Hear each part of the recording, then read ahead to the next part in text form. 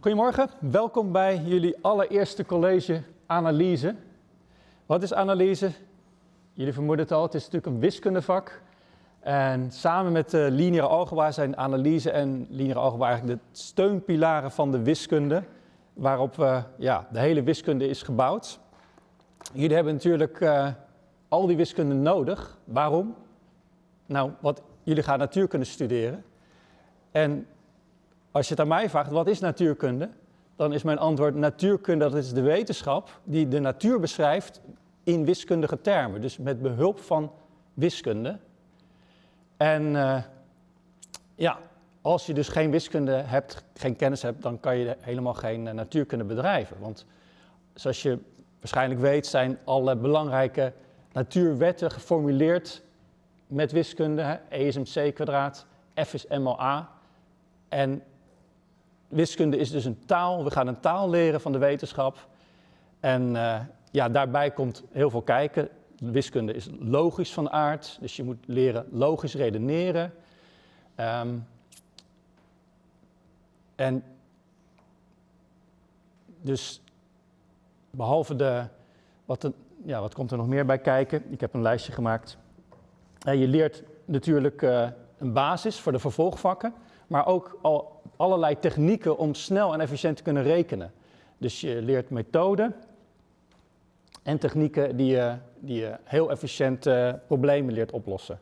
Nou, vandaag gaan we het hebben over vectoren en uh, de vectorrekening. Dus dat zijn de inproduct- en uitproductformules. Ik heb een lijstje altijd van concepten, die staat linksboven. Dat zijn alle onderwerpen die we gaan behandelen vandaag. Dus dat is een enorme lijst. Dus ik, ik uh, moeten we één voor één afvinken, maar het is voor jullie handig om te kijken van heb ik nu uh, al die concepten, uh, zijn ze voorbij gekomen, begrijp ik wat, wat het betekent. En dus om te beginnen ga ik vertellen wat is een vector eigenlijk. Um, ja, wat is een vector? Een, een wiskundige zegt een vector is een element van een vectorruimte. Maar ja, dan moet je gaan uitleggen wat is een vectorruimte. Een informaticus die zegt, uh, een vector is eigenlijk een lijst van getallen. Zoals je het in een computer, als je meerdere getallen achter elkaar zet die je opslaat. Maar voor een natuurkundige is een vector iets anders. Een natuurkundige heeft het idee, een vector is een, een variabele, een grootheid, die um, een richting heeft en een sterkte. Dus een vector, we zeggen ook wel simpel, is een pijltje. Dus uh, we noteren ook alle vectorgrootheden met als natuurkundige noteren we er een pijltje boven. En als we werken in de driedimensionale ruimte, dan heeft dit pijltje drie componenten. Dus dan kan je zeggen, het heeft een x, een y en een z-component. En ik schrijf dat dan tussen als een kolom met haakjes. Dus dan is de x-component u1, de y-component u2 en de z-component u3. Maar dat betekent in de ruimte dit. Dat betekent nu de x, y en z-as van de driedimensionale ruimte. Dus dat is die vectorruimte waar de wiskundigen het over hebben. Die noemen dit R3. Maar in de ruimte zijn eigenlijk uh, punten. In eerste instantie heb je x, y en z. Eh, en dan kan je een punt hebben, hier of een punt daar. Later de punten, die worden genoteerd met P1, P2, P3. En hier hebben we een ander punt Q. Die heeft natuurlijk drie coördinaten. Dus het subtiele verschil tussen een vector en een punt is dat een punt is een vaste locatie, maar een vector is alleen maar een richting en een lengte. Dus je kan de P en de Q verbinden natuurlijk en dan kan je die vector U maken. En dan is de U de vector die loopt van P naar Q, maar als ik een vector laat beginnen in de oorsprong en ik maak hem evenwijdig, en even lang, dan is dit ook vector u. Dus dit, is niet, dit zijn geen twee vectoren, dit is maar één vector. Want een vector is alleen maar een object met een richting en een lengte. En zoals je weet kan je die uitrekenen. Stel dat u de vector is van p naar q, dan, is, uh, dan moet je natuurlijk, voor, om de componenten te vinden, moet je de eindpunt min beginpunt hebben. Want het idee is, als je zegt, uh, u gaat van p naar q, dan kan je die Q1 krijgen door bij P1 de x-coördinaat van U, U1 op te tellen. Dus je moet onthouden dat je de eindpunten moet nemen. Dus eigenlijk Q1 Q2, Q3 min het begin. P1, P2, P3. Dus dit is de vector die je op de middelbare school PQ-pijl zou noemen. Maar om, voor efficiëntie gebruiken we gewoon één letter. En we zijn nog wat efficiënter, want je kan ook zeggen, waarom noem je dit niet ook een vector? We spreken ook wel voor, voor de, van de positievector als je het hebt over de vector van de oorsprong naar het punt P. En dan kan je zeggen, oké, dit is dan eigenlijk OP. En dat is dan natuurlijk de vector die gaat van 0, 0, 0 naar P1, P2, P3. Ja, dus dat is dan natuurlijk gewoon P1, P2, P3. Dus vaak maken we niet echt verschil tussen het punt P en de vector van de oorsprong naar P. En dan noteren we gewoon P, pijl. Maar in principe is een punt niet hetzelfde als een vector. Want vectoren kan je gewoon zo parallel schuiven. Blijft dezelfde vector. En de reden is dat je, hè, die vectoren gebruik je. Want um, in de natuurkunde heb je eigenlijk twee grootheden. En grootheid is een observabele, iets wat je kan meten. Iets wat een eenheid heeft. En een grootheid is ofwel een getal, dat noemen we een scalaire grootheid, een scalar. Of het is een vectorgrootheid. En dan moet je er dus een pijltje boven zetten. Dan is het een, heeft hij een richting. Eens kijken of jullie begrijpen wat ik bedoel. Laten we een lijstje maken van de scalaire en de vectorgrootheden die je misschien al kent.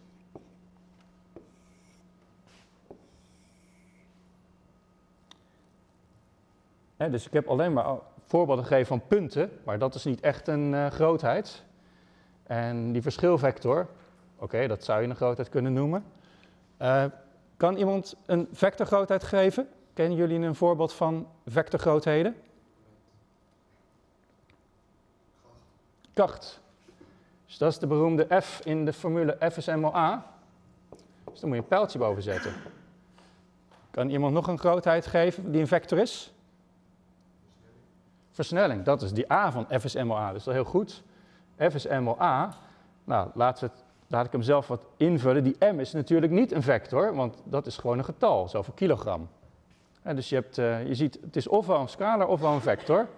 En als a, dat is de versnelling zoals je al zei, dat is, dat de afgeleide van de snelheid. Dus de snelheid is ook altijd de typische vectorgrootheid. Die noemen we dan v. Nou, en je kan, uh, zo kan je elke grootheid uit de natuurkunde wel klassificeren. Het is ofwel een scalar ofwel een vector. Dus ik zeg hier de energie, dat noemen we dan maar een scalare grootheid. Oké.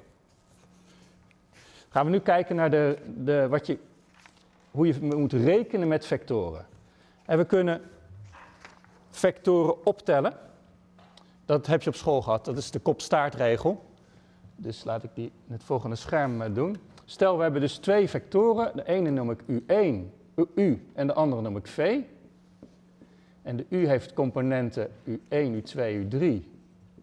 En V heeft componenten V1, V2, V3.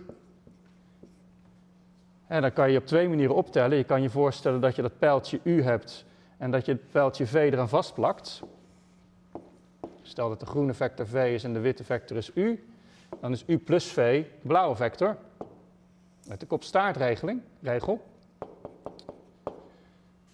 Maar wat je natuurlijk doet, is de x-component van u, daarbij tel je op de x-component van v en dan krijg je de x-component van de som. Dus u plus v is gewoon componentsgewijs optellen. dus ik spel het helemaal voor je uit. We mogen het zo opschrijven. U1, U2, U3 plus V1, V2, V3. En dan krijg je dus de nieuwe vector U1 plus V1 is de x-component van de som, vector, enzovoorts. U2 plus V2, U3 plus V3. Dus dit is de optelling, de definitie van de optelling van vectoren in de driedimensionale ruimte, in R3.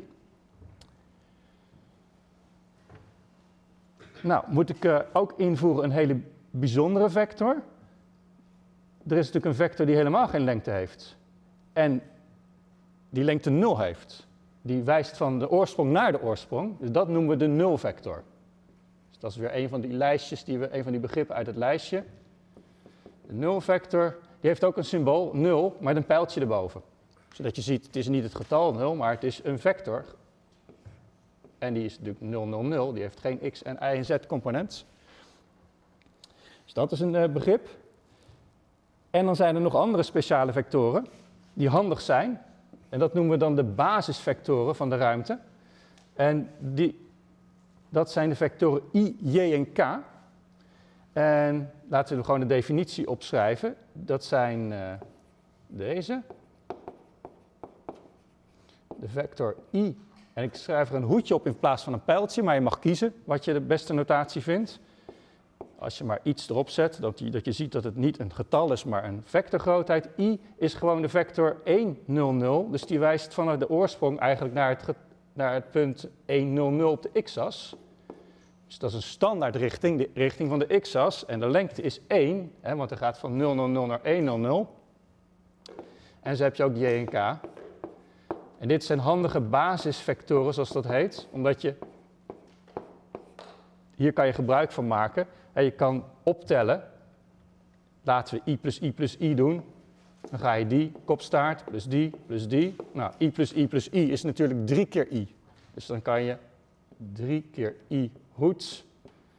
Heb je eigenlijk dit gedaan. 3 keer 1, 0, 0. Maar dan wordt die 3 keer zo lang, dus dan wordt de eerste component 3. En zo kan je ook uh, in de j, in de y-richting, uh, laten we 1 keer j erbij optellen. En dan bijvoorbeeld uh, 2 keer k. k-hoed is de vector die langs de z-as staat, met lengte 1. Maar dan zie je dat je optelt, dan kom je dus in het punt 3,1,2 uit. En dus als je gewoon zegt 3 keer i-hoed plus 1 keer j-hoed, j-hoed dus, plus 2 keer k-hoed, dan kan je die basisvectoren gebruiken om op een compacte manier, op één regel zeg maar, de vector 3, 1, 2 te noteren. want 3 keer 1, 0, 0, plus 1 keer 0, 1, 0, plus 2 keer 0, 0, 1. Ja, je ziet al wat ik, wat ik doe, je mag het dus vermenigvuldigen, dan worden alle elementen drie keer zo lang. En de optelling, die heb ik al hier op uitgelegd. Dus dan krijg je natuurlijk 3, 0, 0 plus 010 plus 002 is de vector 3, 1, 2. Dus dit is een veel voorkomende, de meest gebruikte notatie om een vector te schrijven. Komt vaker voor dan de kolom, want die kolom die neemt veel ruimte in in een, uh, in, in een tekst.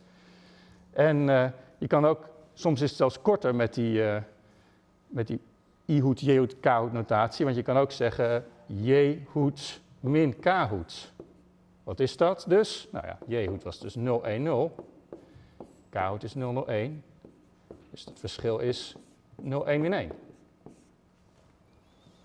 Dus dat is iets wat je moet weten. Dus je hebt, ik heb steeds uh, gebruik gemaakt van de driedimensionale ruimte. Je kan natuurlijk ook in de tweedimensionale ruimte gaan, maar dan is het enige verschil dat we in het vlak zitten. Dus dat doe ik even kort hier. De tweedimensionale ruimte is R2. Dan heb je alleen een x en een y. En dan heb je vector maar twee componenten natuurlijk. Dus dat is echt iets anders. Dus ik heb hier de vector. Ik kan wel zeggen, de vector 2, 1, dat is natuurlijk ook twee keer i-hoed plus j-hoed. Dus dan zie je niet echt het verschil. Maar een, een vector in de R2 heeft twee elementen en een vector in de R3 heeft drie elementen. Oké.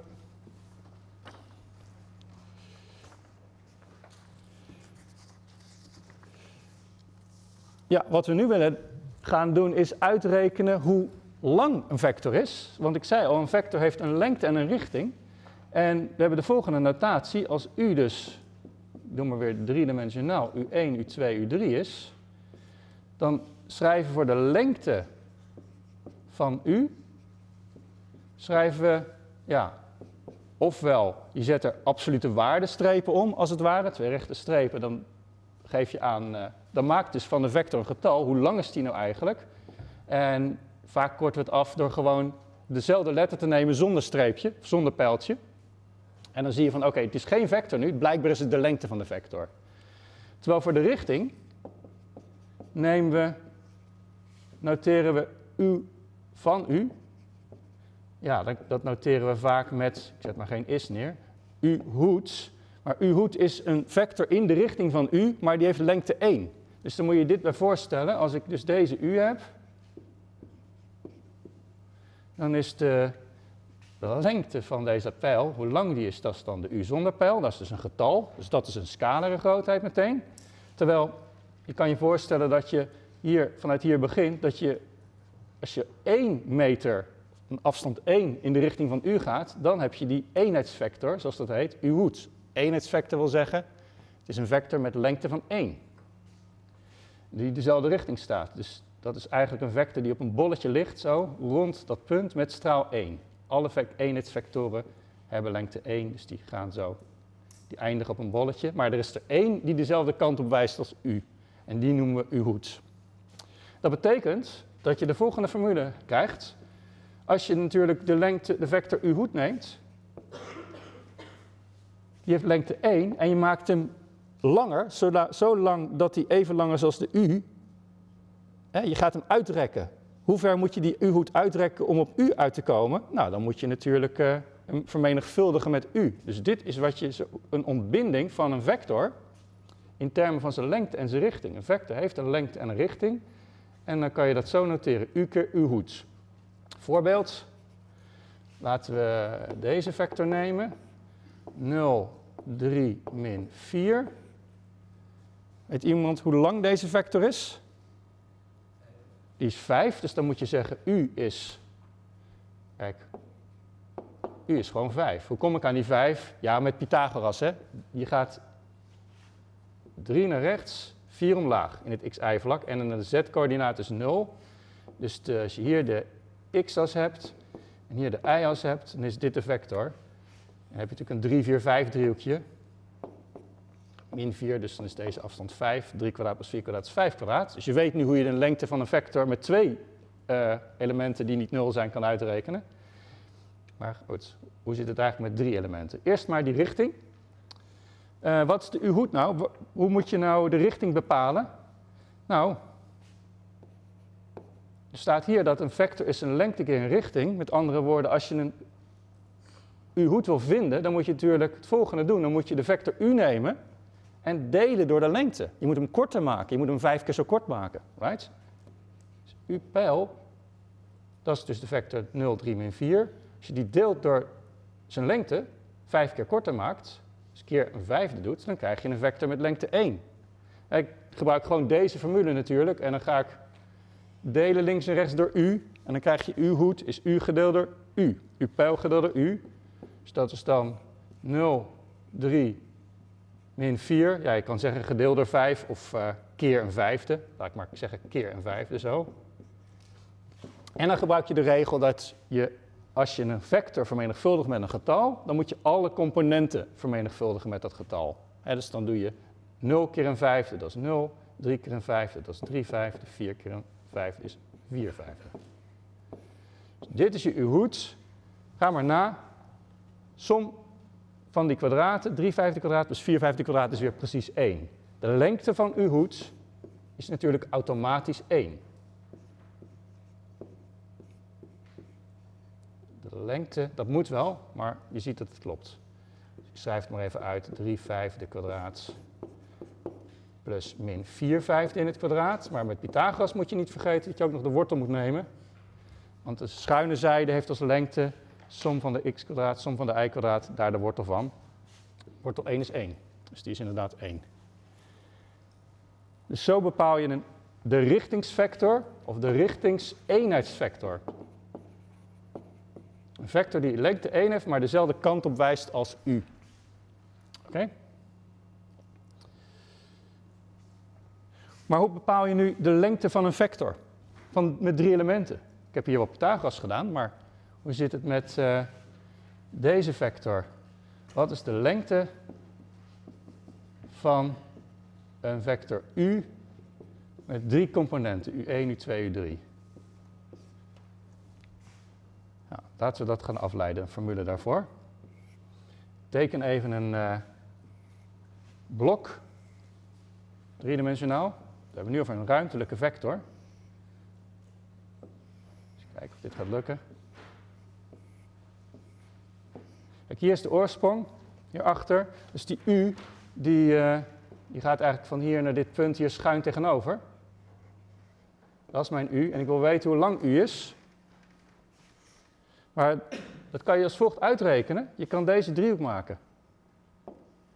Dus deze, deze lijn, deze vector, die staat verticaal. Dus dat is eigenlijk de vector 0,0,u3. Geen x-component, geen y-component en de derde component is u3. Terwijl deze vector, die ik nu maar rood maak, die is horizontaal. Dus dat is eigenlijk de vector u1, u2, 0. En de rode plus de groene is de blauwe. Maar je ziet dat je hier een hoek hebt van 90 graden. Want deze driehoek is eigenlijk verticaal zo. En dat betekent dat ik de lengte van de vector u kan uitrekenen met Pythagoras in dit driehoekje. Dus dat ga ik dan maar doen. Dus de lengte van u, de schuine zijde, van, dat is de blauwe in het kwadraat. Dat is de lengte van die rode in het kwadraat, plus die groene in het kwadraat. Nou, ik heb er geen letters voor gegeven, dus dan ga ik maar gewoon zeggen dat is dan die, uh, die rode is U1, U2, 0. Die moet je kwadrateren met Pythagoras. En die andere, is inmiddels uitgeveegd, die had een U3. Dat was de lengte van de vector ja, 0, 0, U3. Zie je, dus ik heb nu Pythagoras voor de staande driehoek opgeschreven. Maar die eerste is het kwadraat van de lengte van de rode, maar die zit natuurlijk ook in een rechthoekige driehoek, want die zit hier. Dus die heeft als rechthoekzijde U1 en U2. Dus dan kan je opnieuw Pythagoras doen in de horizontale driehoek. Dus dan krijg je U1 kwadraat plus U2 kwadraat. En die groene heeft natuurlijk lengte U3. Dat heb ik wel zo simpel opgeschreven, maar ja, 0, 0 kwadraat plus U3 kwadraat. Dus je ziet, de lengte van U in het kwadraat is gewoon de som van de kwadraten van de drie componenten. Dus dat is, dan geef je natuurlijk meteen een formule voor u. Hoe bereken je de lengte van een vector? Neem de componenten, neem de kwadraten, tel ze op en aan het einde moet je de wortel nemen. Dus ik schrijf op, u is de wortel van u1 kwadraat plus u2 kwadraat plus u3 kwadraat. Zie je dus de gewone stelling van Pythagoras zit daarin, want als je u3 nul is, dan hou je natuurlijk over wortel u1 kwadraat plus u2 kwadraat. Oké. Ja, voorbeeld. Stel nu eens dat je moet bepaalde, bepaalde eenheidsrichtingsvector. Het heet ook wel het normeren van een vector dat je een vector vindt, dus de u-hoed, die lengte 1 heeft, dat is dus u gedeeld door zijn lengte, voor deze vector u. En dat is een voorbeeldje dat je, om te laten zien hoe je handig moet rekenen. En wat nou als je ziet dat de componenten min 6, min 9 en min 18 zijn,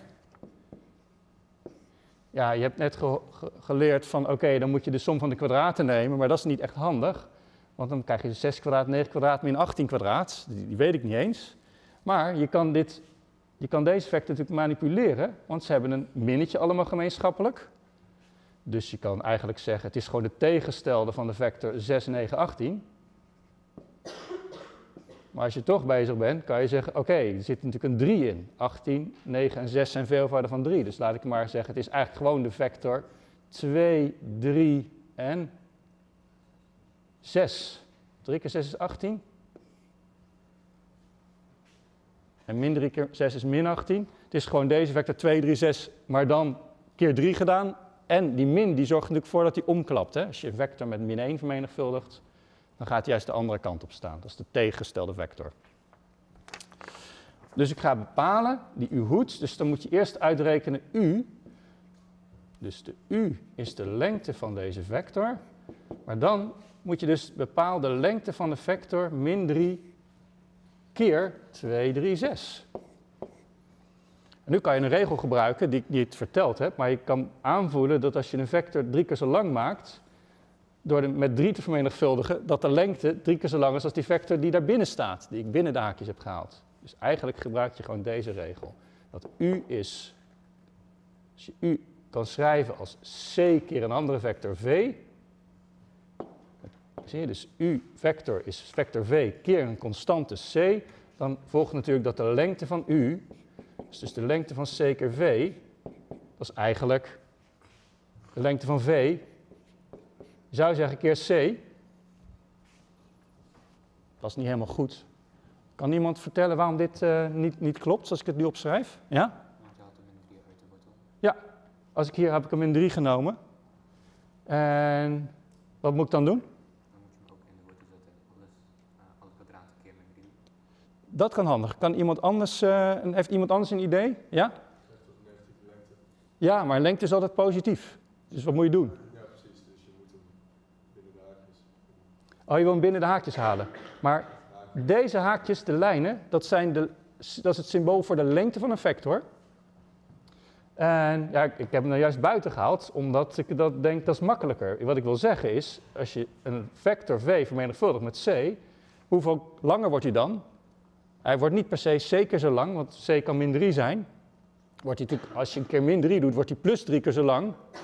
Dus je moet de absolute waarde van de c nemen. Dus dit is natuurlijk, uh, je moet goed weten wat er staat, want deze strepen, dat is de absolute waarde van een getal. En die andere strepen, dat is de lengte van de vector. En omdat het bijna hetzelfde is, hebben we geen andere notatie ervoor, maar het is iets anders in principe. Dus dit is de echte regel. Dus dan kan je zeggen, oké, okay, het is de absolute waarde van min 3, hier de lengte van 2, 3, 6. En de absolute waarde van min 3 is 3. Maar je ziet nu hoef ik alleen nog maar 2 kwadraat plus 3 kwadraat plus 6 kwadraat te doen. 2 kwadraat plus 3 kwadraat plus 6 kwadraat, dat is 49. Dus dat is precies 7 kwadraat. Dus het is een vector met lengte 21. Als ik nu u hoed moet uitrekenen, had ik eigenlijk niet eens die 3 keer 7 moeten doen. Hè? Want ik had gewoon, dit is je u. U hoed is u gedeeld door de lengte. U is min 3 keer 2, 3, 6. Dan moet ik delen door 3 keer 7. Dus natuurlijk gaat die 3 wegvallen. Want ik gaat alleen maar om de richting. Dus ik had niet eens die 3 had ik niet eens in de rekening mee hoeven te nemen. Het is gewoon een richting die dezelfde kant op staat. En van die vector moet je de lengte uitrekenen. Dat is dan toevallig 7. Dus het antwoord is 2 zevende, 3 zevende, 6 zevende.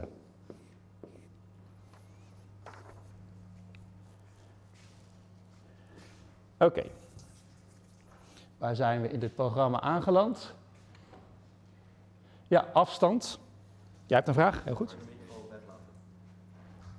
Uh, die mag je niet weglaten. Nee, die moet erbij. Dus we gaan hem neerzetten. Uh, maakt dus helemaal niet uit waar je hem neerzet, dus laat hem maar gewoon hier staan. En die 7, die hoef je ook helemaal niet binnen de haakjes te zetten. Dus zelf schrijf ik gewoon, laat ik gewoon dit staan.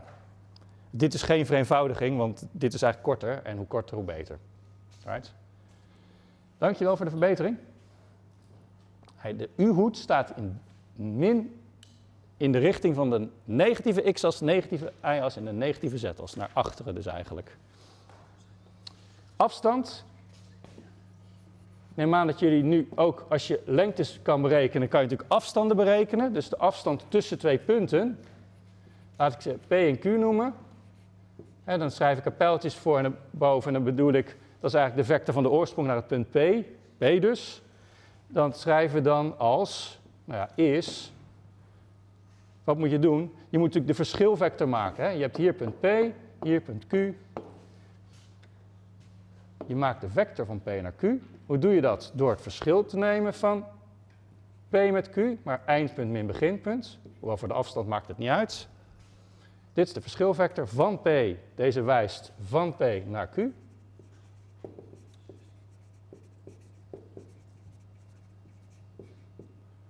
En dan moet je daarvan de lengte nemen. Dus dit stukje is wat hier binnen staat, maar dan ga ik, zet ik een streep omheen en dan bereken ik de lengte van die vector, dat is de afstand. Oké. Laten we eens naar een, uh, kijken of je iets begrepen hebt wat ik net uh, gezegd heb halverwege.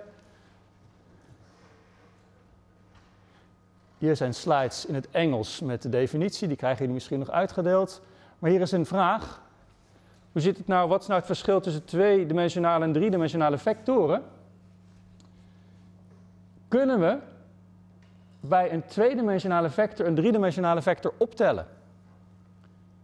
Is dat nee, want uh, dat kan niet, want ze leven in een andere ruimte.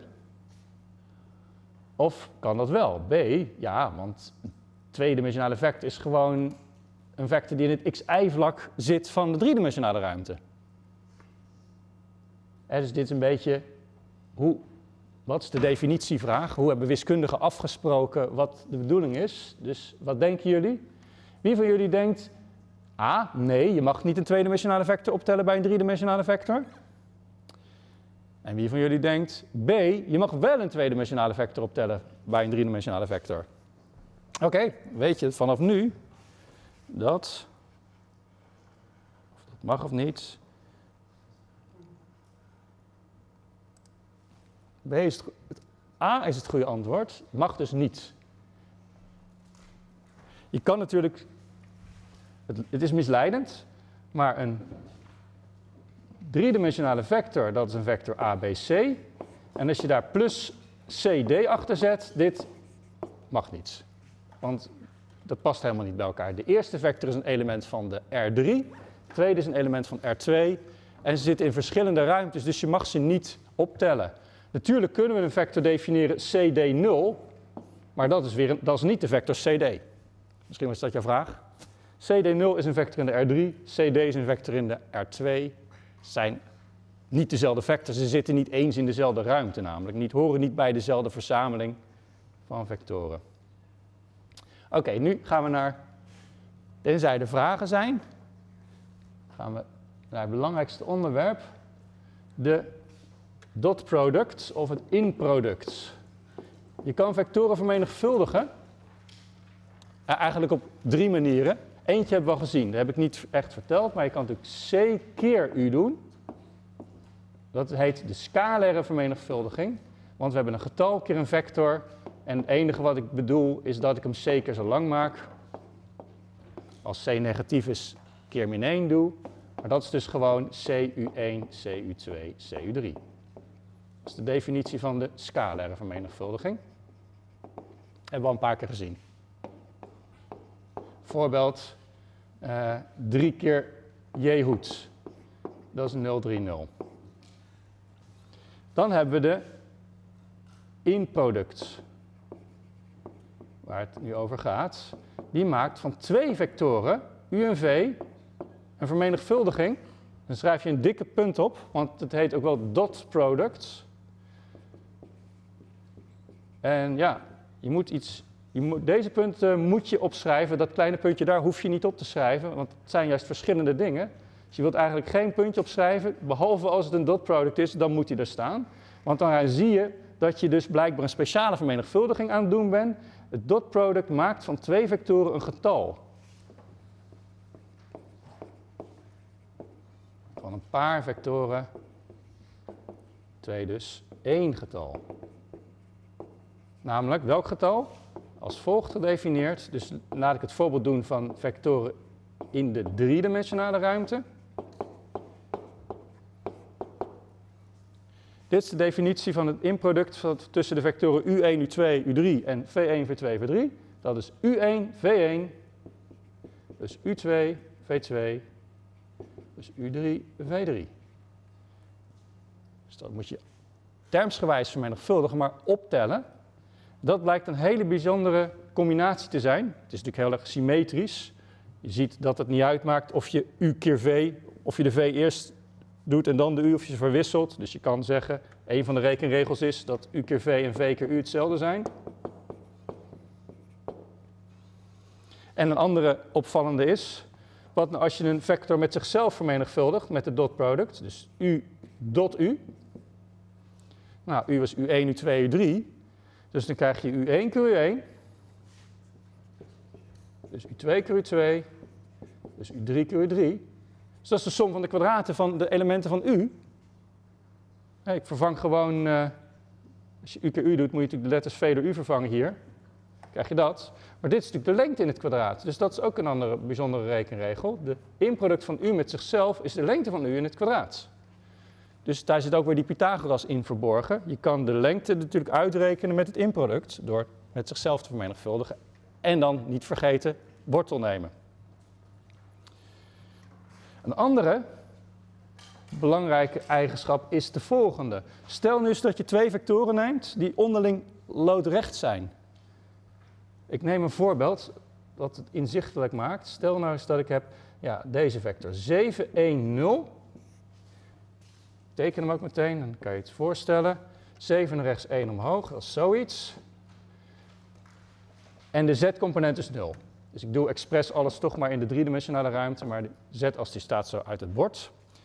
Kan iemand een vector bedenken die, waarvan je meteen ziet, oh die staat hier loodrecht op?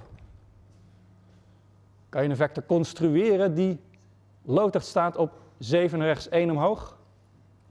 Ja? Moet je toch vermenigvuldigen met het andere vector en dat moet uitgaan Ehm, nee. Welke an- ik heb geen andere vector nog, dus ik vraag aan jou om een andere vector te verzinnen, ja? min 1, 7, 0. Ja, dat is een, dat is een, een keuze natuurlijk, zoals dit je u is. Maar als ik dan de v neem, min 170, kijk die staat er loodrecht op, dat is gewoon, dat zie je in het plaatje. 1 naar, 7 naar rechts, 1 omhoog en dan ga ik 1 naar links, 7 omhoog. Volgens mij is die loodrecht. Daarom heb ik dit voorbeeld, want je ziet dat als je het inproduct uitrekent, dat dan krijg je 7 keer min 1 plus 1 keer 7. Dus 0 keer 0. Maar dat is 0. Maar dat is algemeen zo. Dan ga ik zo eh, uitleggen dat je altijd kan zien of twee vectoren loodrecht zijn door te kijken naar het inproduct. Dus dat heet orthogonaal. Een van de dingen van het concepten. Twee vectoren heten orthogonaal als het inproduct 0 is. Dus bijna hetzelfde als loodrecht dus. Dus je kan je afvragen waarom hebben wiskundigen dan die term orthogonaal ingevoerd? Nou, is, eh, wat denk je van dit inproduct? U met de nulvector.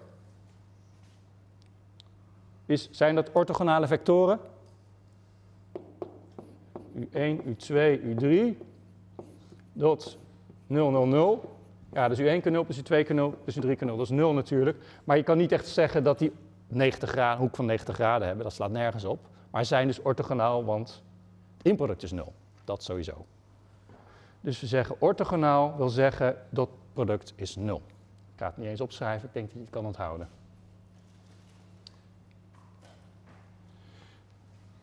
Nou, waarom is het inproduct zo interessant? Je hebt de volgende eigenschap. En eigenlijk moet ik teruggaan naar wat een vector nou is. Een vector is een grootheid die zich zo gedraagt dat je het kan roteren en dat het niet uitmaakt hoe je assenstelsel gekozen is. Als je een experiment doet, je hebt een, op deze tafel heb je een eh, opstelling gemaakt en die ga je wiskundig beschrijven. En dan zeg je, oké, dit is de x-as, dat is de y-as. En dan ga je alles formuleren, ga je de versnelling en de krachten opstellen in termen van de componenten langs x en y-as. Maar als ik nu die tafel 90 graden ga draaien, dan heb ik, ja, dan heb ik nog steeds hetzelfde experiment. Dus dan heb je een rotatie uitgevoerd, maar er is eigenlijk niks veranderd. In het bijzonder, als ik zeg dat u, dus als ik zeg u is een vector, dan wil zeggen hij transformeert op zodanige manier dat, het, dat alle andere vectoren meedraaien. En als ik zeg een inproduct maakt van twee vectoren een scalar, dat betekent dat als ik u en v op dezelfde manier draai, dat het inproduct gelijk moet blijven. En dat zie je natuurlijk, want ik heb hier bijvoorbeeld eh, het inproduct van eh, i-hoed met j-hoed. Ja, i-hoed is 100, j-hoed is 010. Die zijn onderling loodrecht. Die zijn orthogonaal, dus het inproduct is 0. Als ik mijn assenstelsel ga draaien, blijft het inproduct natuurlijk 0. Dan gaat de i-hoed misschien naar j-hoed toe. En die j-hoed gaat naar min i-hoed toe. Maar ja, het inproduct van j-hoed met min i-hoed is ook 0. Dus dat blijft zo. Dus dat is het bijzondere van het inproduct. Als ik u en v roteer, geroteerd worden in de driedimensionale ruimte. Zeg dat ik eh, naar roteer dat de u u-accent wordt en de v v-accent wordt. Dan heb ik nieuwe vectoren. Ik heb ze in de ruimte gedraaid, maar het inproduct blijft hetzelfde. Dus dat komt dus omdat het zo'n mooie symmetrische combinatie is U1, V1, plus U2, V2, plus U3, V3. Dus dat ga ik niet bewijzen, maar dit is, dit is waarom het inproduct zo belangrijk is. Het maakt echt een scalar en dat betekent dus als je roteert verandert de uitkomst niet eens. Maar dat kun je wel gebruiken, want dan kan je zeggen, oké, ik wil het inproduct, ik wil kijken wat is nu precies de betekenis van het inproduct. hoe kan je het ook anders zien? Wat is het inproduct eigenlijk? Of is er niet een handige formule, relatie voor? Nou, als we zeggen dat het inproduct van u met v dat het niet afhangt van hoe je je oriëntatie hebt, hoe je je as hebt gekozen, dan kan ik natuurlijk gewoon mijn u-vector horizontaal kiezen langs de x-as. Dus ik roteer nu de u naar de x-as toe, dus dat het u1, 0, 0 is. Mijn v, die roteer ik dus mee.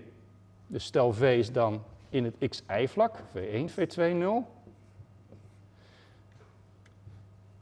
En dan kan ik beter zien wat het x uit inproduct nu eigenlijk wordt. Want kijk, als ik u dot v voor deze makkelijkere situatie uitreken, u1, 0, 0, dat v1, v2, 0, dan krijg je gewoon u1, v1.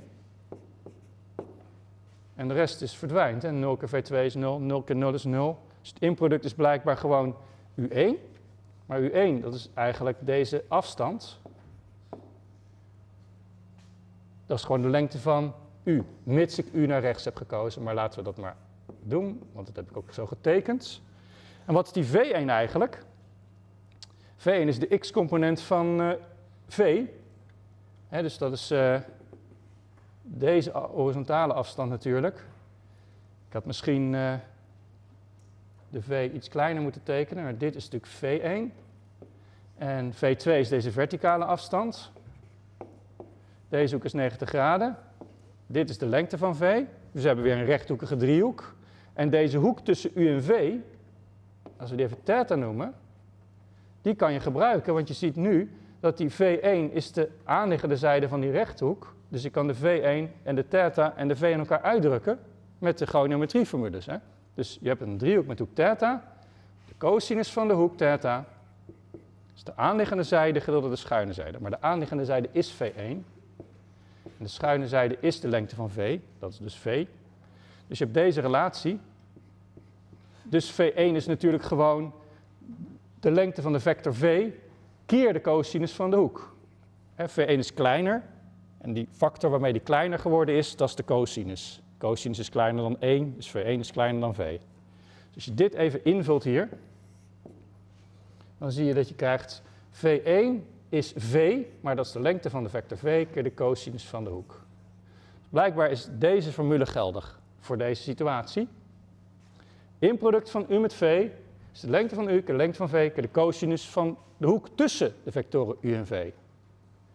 En ik heb het nu laten zien voor deze situatie, maar ik heb net gezegd dat maakt niet uit. Je kan de vectoren roteren, het inproduct blijft toch hetzelfde. En dus dit geldt altijd. Dus dit is de, zeg maar de inproductformule je ziet wat het betekent. Het is gewoon altijd, uh, ja, dat getal wat hieruit komt, is natuurlijk kleiner dan het product van de lengtes. Want die cosinus is kleiner dan 1. En je ziet ook, als de hoek 0 graden is, dan is het gelijk aan het product van de lengtes. Als de hoek 90 graden is, dan is de cosinus van de hoek van 90 graden is 0. En dan is het inproduct blijkbaar 0. Dus orthogonale vectoren hebben inproduct 0. En je ziet dat je deze formule kan gebruiken om hoeken uit te rekenen. Dus wat kunnen we de inproduct voor gebruiken? We hadden al gezien, we kunnen Pythagoras volgt eruit, maar je kan ook hoeken uitrekenen. Dus dat is het volgende punt op de lijst. De hoek theta tussen u en v, die kan je vinden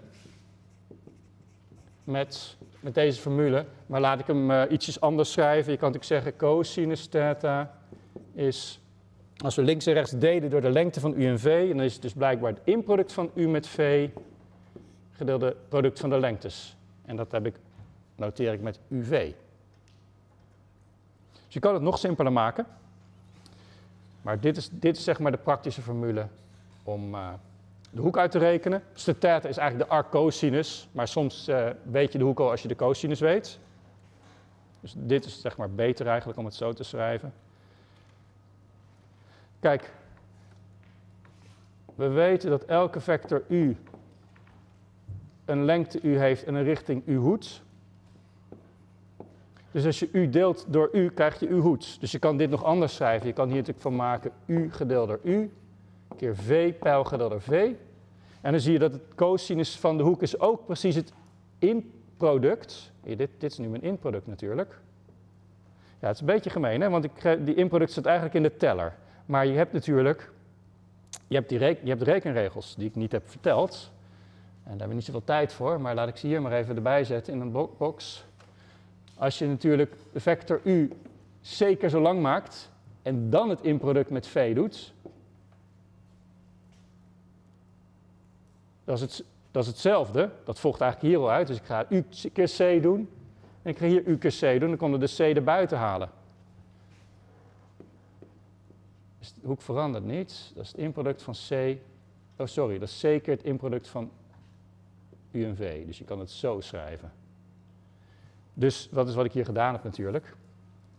Misschien moet ik straks nog een keer anders uitleggen, maar ik kan natuurlijk zeggen ehm, u keer v. En dan ga ik delen door u en ik ga ook nog delen door v.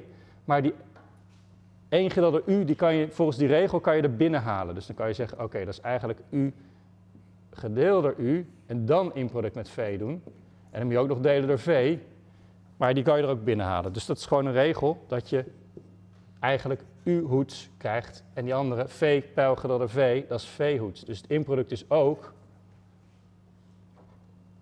inproduct van de eenheidsvectoren is ook de cosinus. Dus dat is misschien nog wel een makkelijke formule. Laat ik die op de volgende bord zetten. We hebben de volgende formules gezien. U, ik zal ze maar even. Als je gewoon alleen maar het inproduct van de eenheidsvectoren neemt, krijg je gewoon de cosinus van de hoek. Als je het inproduct van de echte vectoren neemt, kijk, die u was natuurlijk u lengte keer uw hoed en die v was v keer v hoed. Dus dan krijg je u keer v. En de inproduct van de hoedjes was cosinus. Dus dit is een andere manier om het uit te leggen. Dat je deze regel hebt. En zo heb je dus ook nog de regels van als je nou een vector zeker zo lang maakt en dan het inproduct neemt, dat is hetzelfde als eerst het inproduct nemen. En dan c doen. En zo heb je een hele lijst van regeltjes. En die moet je eigenlijk eh, ja, bestuderen. Want als je een berekening uitvoert, heb je steeds dit soort regeltjes nodig om het slimmer en korter te maken. Je formules. Oké. Dus even kijken of we nog vragen hebben. Hier staan op de slides de definities. Hoe zit het nu met dit? Kijken of jullie eh, al in de war zijn geraakt. We hebben hier een eh i gegeven door het inproduct van a met b en a met c. Kan je concluderen dat i dan b gedeeld als c is? Is dat a correct of b mm, misguided? Dat wil zeggen misleidend of zo. Wie denkt er a? Wie denkt er b? Het antwoord is b. Je kan niet delen door een vector. Hier staat gewoon een c in een noemer, maar dat mag niet, want een vector is geen getal. Je kan niet delen door een vector. Hier staat een inproduct in een noemer, maar een inproduct tussen twee vectoren is een getal. Want a keer c, hè, dat was a1 keer c1 plus a2 keer c2 plus a3 keer c3. Hier staat gewoon een getal in de noemer, dus dat kan wel. Dit is een onzinuitdrukking. Dus het kan niet gelijk zijn aan i. Hoe zit het hiermee? Inproduct A en B tussen haakjes, inproduct C. Komt daar nu uit een getal of een vector of is dat ook onzin? Wie denkt er A? Getal. Wie denkt er B? Komt een vector uit. Wie denkt er C? Dat is onzin. Undefined. En undefined betekent uh, dat we het niet gedefinieerd hebben, maar de reden is dat we het niet gedefinieerd hebben is omdat dit nergens op slaat. Het is undefined, want kijk, je moet eerst tussen de haakjes doen, uitwerken. Hier komt een getal uit, maar dan staat er getal dot vector. Maar die dot, die slaat alleen maar op links een vector, rechts een vector. Maar links staat een getal, dus dit is niet gedefinieerd. Dit mag je niet opschrijven eigenlijk. Oké? Nog eentje. Wat komt hier nou uit? Nu staat er a dot, c, a b, c. Is a een scalar, een vector of net als net ook weer niet gedefinieerd? Wie denkt er, dit is a een scalar? Wie denkt er, is b, vector? A. Wie denkt er undefined? Kijk, nu gaat het goed, want a b is een getal, dus het is gewoon de vector c vermenigvuldigd met dat inproduct als getal. Vector.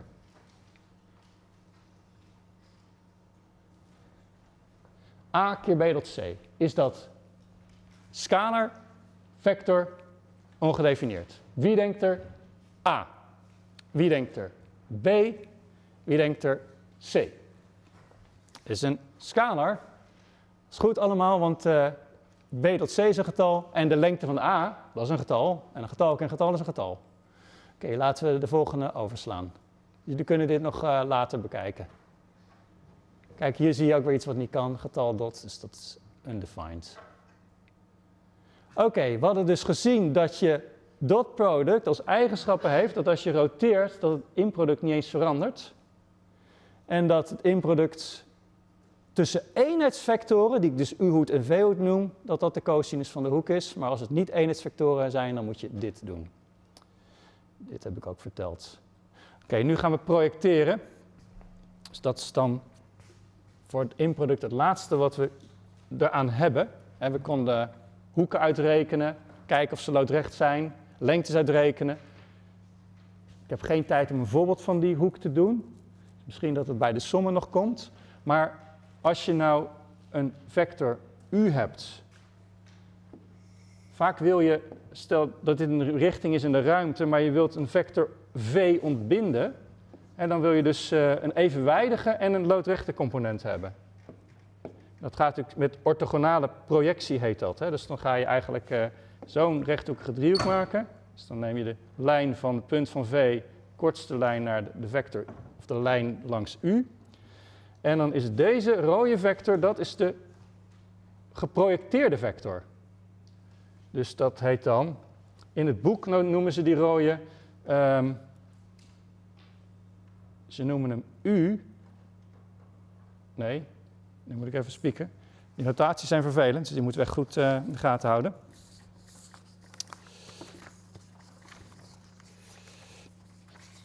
Want ik denk dat ik mijn schrift natuurlijk verkeerd andersom geprojecteerd heb. Dus laat ik toch maar de andere kant, de letters verwisselen. En dus we gaan U projecteren op V. Dus dan schrijf ik erbij projectie van U op V. Want het is natuurlijk niet hetzelfde als de projectie van V op U. Die moet in de richting komen van V. Dus dat is dan U sub V. Dit is de notatie van het boek van Adams. En ik denk dat in de, dus dat is de rode vector, in de opgave staat er de projection, projectie, op V, dus de kleine index is de, waar je langs komt en de, tussen de haakjes is de vector die geprojecteerd wordt. Dus die staat in de richting van V, maar het is eigenlijk een component van U. Dus dit willen we uitrekenen. hoe ziet deze vector er nu uit? Nou, om te beginnen kan je zeggen, ik wil eigenlijk weten hoe lang is de, die vector. Dus de u geprojecteerde vector heeft natuurlijk een lengte en een richting. Dus dan zeg ik, wat is de lengte? Die willen we bepalen. En wat is de richting van die projectie? Nou, die richting is de makkelijkste, hè? want de richting van u geprojecteerd op v is in de richting van v. Dus die richting is natuurlijk v hoeds. En wat is de lengte? Hebben we weer die cosinus nodig van deze hoek. Dus deze component, die afstand, noemen we maar de component. Component. Als je die component deelt door de lengte van u, krijg je de cosinus van de hoek. Net als net, cosinus van de hoek is de component gedeeld door u. Met andere woorden, de component is u keer de cosinus van de hoek theta. Maar net hebben we gezien dat die cosinus van die hoek theta, dat is weer het inproduct van de eenheidsvectoren. Dus dan krijg je is, hier staat component is u, en die cosinus kan je maar handig schrijven als het inproduct tussen de eenheidsvectoren. Dus dan heb je eigenlijk hier een lengte, een, een uh, eenheidsvector, hier een eenheidsvector. Zit je dus op een cirkeltje en dan is op de cirkel is de cosinus van de hoek is deze component. Uh, ja, wordt dus dan kleiner gemaakt. Maar hier staat, wat is de component? Blijkbaar u keer u hoed dot v hoed. Maar u keer u hoed, dat is u. Dus u dot v hoed. Dat is de component. Of, maar die v-hoed was natuurlijk weer v gedeeld door zijn lengte. Dus ik kan ook zeggen dat is v gedeeld door zijn lengte. En dan kan je weer die regel gebruiken dat je gewoon het getal uit de inproduct kan halen. Dus je kan ook eerst het inproduct doen en dan delen door v. Dus dat is die formule die daar staat, die ik heel snel nu behandeld heb. Als je de lengte wil weten, of hoe lang is dit stuk nou, de component langs v, dan moet je het inproduct nemen en delen door v. Dus eigenlijk is het inproduct de component, hè?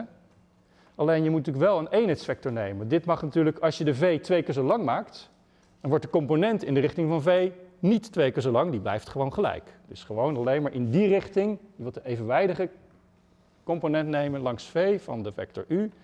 Dus je ziet aan de formule, v twee keer zo lang maakt, krijg je een tweetje in de teller, maar ook een tweetje in de noemer.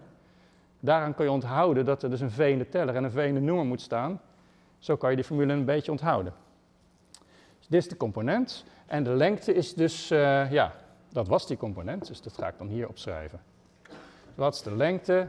Lengte is u dot v gedeeld door v. En de richting was v hoed, maar dat is ook v pijl gedeeld door v.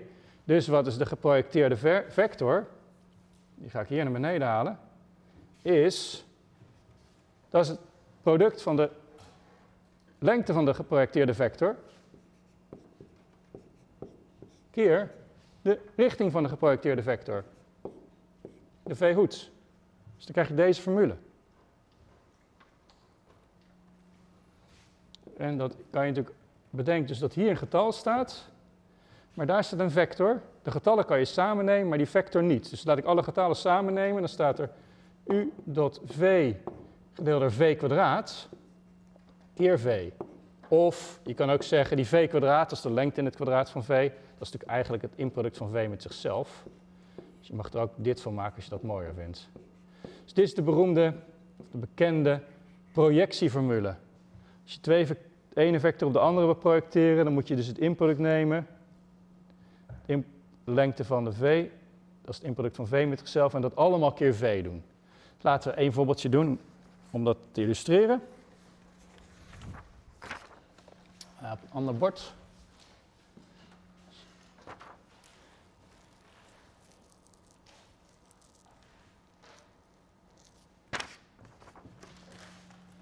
Dus we hebben een punt. P. 2,3,4. En we een lijn door 1,1,1 en de oorsprong. En dan wil ik op de lijn projecteren. Dat punt op de lijn projecteren. Right? Dus dan gaan we. Ik teken even die lijn. Hop. Hier is ergens het punt 1,1,1. Dan hebben we een punt. P. Wat ga ik nou doen? De lijn gaat door de oorsprong. Hè? Dus dat betekent eigenlijk dat ik gewoon de vector van de oorsprong naar P, dat is de vector P, ga projecteren op de richting van de lijn. Dus dan moet ik zo, loodrecht, wil ik deze geprojecteerde vector weten. Dus die blauwe vector die staat natuurlijk evenwijdig aan de lijn of langs de lijn. En dat is dan de projectie op de vector 1, 1, 1 van de p.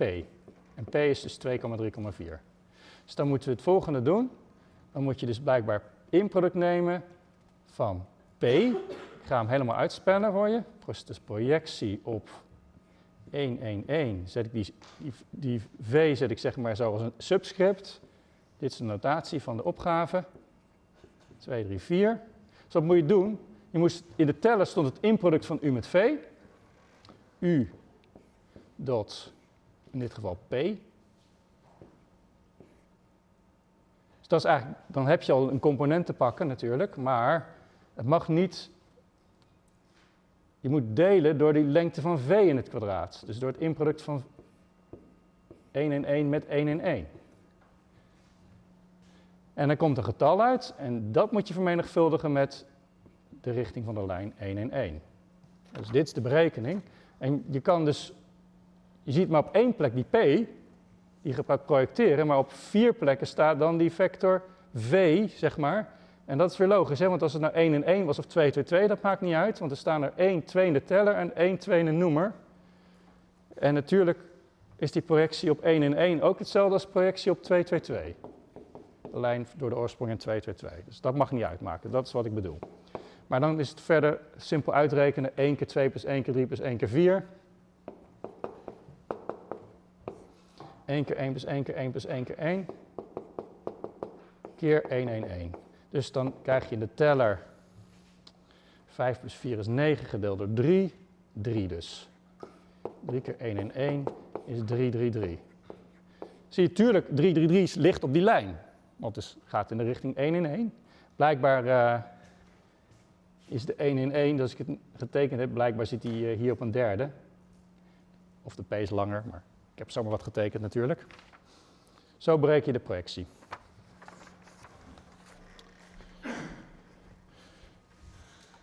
Oké, dus component is alleen maar hoe lang eigenlijk dat stukje is, maar als je de projectie doet, dan moet je deze formule toepassen.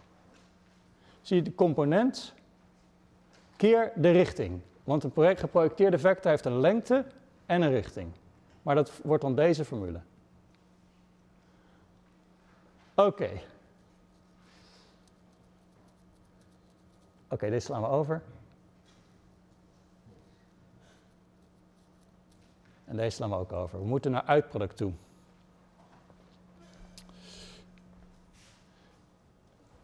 Dus dit is alles wat we over het inproduct hebben. Ik kan nog één, twee, één kort voorbeeldje geven. Um, namelijk het opstellen van een vergelijking van een vlak. Stel eens dat we dit vlak hebben. Vlak door 3, 0, 0. Als ik drie punten heb, dan gaat er precies één vlak doorheen. Als ze niet op een lijn liggen tenminste. En dus dit vlak kan je voorstellen. Hebben jullie gehad de standaardvorm van een plat vlak in de driedimensionale ruimte? dat is een formule met een x en een y en een z erin. Zodat als je de x en y en z invult dat je, en het klopt, de vergelijking, dan uh, zit je in het vlak. Ik weet niet of je die formule gehad hebt, maar ik wil dus een vergelijking hebben van deze vorm. ax plus b plus cz is d. Dat is een lineaire vergelijking in de coördinaten. En dat stelt een vlak voor. En dan kan ik nog even aan dit voorbeeld dan laten zien. Want als ik, uh, ik heb twee dingen nodig. Ik heb eigenlijk een normaal nodig. Dus dit is een vlak. Kan, kan je een richting verzinnen die loodrecht staat op dit vlak. Dus ik teken een pijltje zo naar buiten. En ik wil dat deze hoek 90 graden is. Dus dat betekent eigenlijk dat als je een punt hier in het vlak hebt en een ander punt in het vlak, en ik teken daar weer een verbindingslijn in het vlak, dat die hoek 90 graden is met die normaal en hoeds of en pijl. Kan een van jullie een normale vector van dit vlak, dat door 3, 0, 0, 0, 3, 0 en 0, 0, 3 gaat, verzinnen? 1 en 1. Omdat het symmetrisch is, hè? Je ziet, dit is het even ver van de oorsprong, die is even ver van de oorsprong, die is even. Dus dit staat onder, een, ja, ik weet niet eens wat een hoek, maar wel symmetrisch. Dus er gaat ook een loodrechte vector op staan die ook symmetrisch is in x, y en z. 1 in 1 is een normaal. Nou, als ik nou een willekeurig punt heb, x, y, z, in het vlak, dus laat ik er een vector van maken. En ik heb een vast punt, laten we dat vaste punt gewoon uh, dit punt nemen. Dus ik ga nu, uh, dit is een willekeurig punt. En het vaste punt, zet ik hem hier neer, is het punt 3, 0, 0. Dan is het de verschilvector, de vector die wijst van 3, 0, 0 naar x, y, z, dat is natuurlijk x, y, z min 3, 0, 0. Dat is deze vector. Die ligt in het vlak. En dat betekent, omdat de normaal loodrecht staat op het vlak, dat die normaal ook loodrecht staat op die vector. Right? Dus deze vector 1 in 1 moet loodrecht staan op deze verschilvector, wat x, y, z ook is, zolang je maar in het vlak blijft met je punt, is dit loodrecht op 1, 1, 1. Dus in het vlak geldt dat deze vector x, y, z min 3, 0, 0 vast punt genomen. Maakt niet uit welk punt, dus ik heb maar één van de drie punten genomen die ik weet. Met andere woorden, in product is 0. Hè? Loodrecht wil zeggen En het verschil kan ik ook uitrekenen, want dat is natuurlijk gewoon x min 3, y min 0, z min 0. Laat ik die er ook maar bij zetten voor de duidelijkheid. Dus dit wil zeggen dat het inproduct van deze verschilvector met 1, 1, 1, dat dat 0 is. Maar als ik dat uitwerk, krijg ik dus 1, 3 min x keer 1 plus x min 3 keer 1 moet ik zeggen, y min 0 keer 1 plus z min 0 keer 1 is 0. Maar dat is precies wat ik wil. Er staat 3, er staat x plus y plus z en de 3 kan ik naar rechts halen, is gelijk aan 3. Dus er staat een vergelijking van de vorm ax plus bi plus cz is d. Dus je kan, als je een plat vlak hebt, dan zijn de a, b en c componenten van een vector. Je kan het zo zien, van de normale vector. Of een normale vector. Dus dit is een manier, de standaard manier om een vlak te vinden. We hoeven alleen maar een vector te hebben die er loodrecht op staat en één vast punt. En dan is dit je normale vorm. Ten slotte, hoe vind je nu die loodrechte vector? Want net moest je gokken, of toevallig was, kwam het mooi uit. Als het niet mooi uitkomt, heb je een formule nodig voor een loodrechte vector. En daarvoor hebben we dan het laatste nodig van deze les, namelijk het uitproduct. Uitproduct is de derde manier van vermenigvuldigen. Je kon scala vermenigvuldigen, zeker u. Inproduct u dot v. En dan hebben we nog u cross v. En uitproduct maakt van twee vectoren weer een vector. Dat is deze hele vervelende formule. Dus. Nu moet ik drie componenten geven. De x-component, de eerste component van het uitproduct, dat is een kruiselijks vermenigvuldiging. Dan doe je tweede keer derde min derde keer tweede. Dus dat is het enige wat je moet onthouden. Voor de eerste component is het dus u2 v3 min v2 u3. En de andere gaan net zo. Als je de tweede component wil uitrekenen, dan moet je bij de derde beginnen. En na 2 komt immers 3. En het is volledig periodiek, cyclisch heet dat. Dus van 2 moet je 3 en dan, hier komt dan weer U1. En na 3 komt 1 en na 1 komt weer 2. Na 2 komt 3, na 3 komt 1. Na 3 komt 1 en na 1 komt 2. En het is ook nog eens om en om, hè? dus U keer V min V keer U. Dit is het uitproduct. En het uitproduct van een vector U en een vector V, die heeft net als het inproduct hele mooie eigenschappen. En de belangrijkste eigenschap is, staat loodrecht op de twee vectoren U en V. Dus onder andere kan je het gebruiken om een normaal te vinden. Als je die driehoek hebt, dan kan je twee e- vectoren in de driehoek vinden. En dan is het uitproduct dus loodrecht erop. Dus dat zijn de eigenschappen. Ik zal ze nog even snel samenvatten. U kruis V. Als je het inproduct neemt met U, komt er 0 uit. Kan je een beetje zien, hè? want dan moet je natuurlijk dit eerste ingewikkelde component keer U1 doen. En dan staat er bijvoorbeeld U1, U2, V3. Maar hier ga je weer, de tweede component, ga je V3, U1 met U2 vermenigvuldigen. Dus het haalt er weer af. Dus als je gewoon uitschrijft het inproduct van deze lange formule met U1, U2, U3, krijg je zes termen. En die gaan allemaal wegvallen tegen elkaar, want er komt 0 uit. En hij is loodrecht op V. Dus doordat het zo cyclisch, met cyclisch permuteren, met het verwisselen van de indices naar 2 komt 3, naar 3 komt 1, naar 1 komt 2. Dat het, en met het minnetje, daardoor gaat alles steeds wegvallen. Daarom is dit een mooie combinatie. Dit is ook 0. En tenslotte de lengte. de richting is ook van belang. Want het, welke kant staat hij op? Nou, hij staat natuurlijk loodrecht, maar je kan twee manieren loodrecht, naar boven en naar beneden. Maar hij staat loodrecht met de rechterhandregel.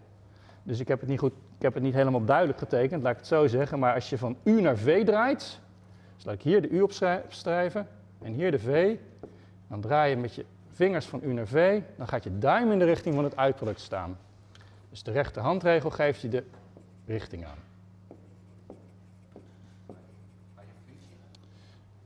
One minute. De lengte van U met V, tenslotte willen we nog weten. Dat is de lengte van U keer de lengte van V keer de sinus van de hoek. En dat ga ik niet bewijzen, maar dat komt eh, later. Maar dan hebben we alle eigenschappen van het uitproduct. Oké, dus dat was een hele drukke 1 uur en 1 kwartier. Bijna. Dus de tijd zit erop. We gaan eh, rustig even op adem komen, pauzeren, 10 minuutjes. En dan gaan we verder in de Studio Classroom om de instructie te doen. Opgave over deze stof. Succes met, eh, met de opdrachten en met jullie studie.